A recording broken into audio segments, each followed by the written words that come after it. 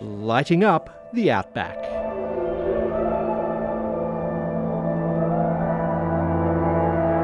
The Qantas Founders Museum is ready to welcome visitors back with a $3 million light show to draw in the crowds. A very futuristic uh, sound and light show using modern technology to tell the story of Qantas. In fact, even going back before the start of Qantas. We're using the exhibits of the air park here, the 707 and the 747, the Super Constellation and DC3 as the canvas for a, a theatre in the round it's been 100 years since the airline was founded in Western Queensland, but when the coronavirus pandemic hit, centenary celebrations had to be put on hold. Our significant months for trade are, are really April to September. And of course, that's the period, or much of which, that will be closed for. Normally, this is peak tourist season, but the West has taken a hit.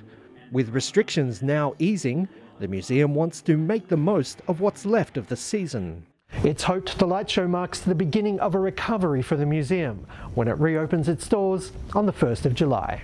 Just come, just get out of the city or get out of the cold in the south and come to Western Queensland. Absolutely phenomenal, eh?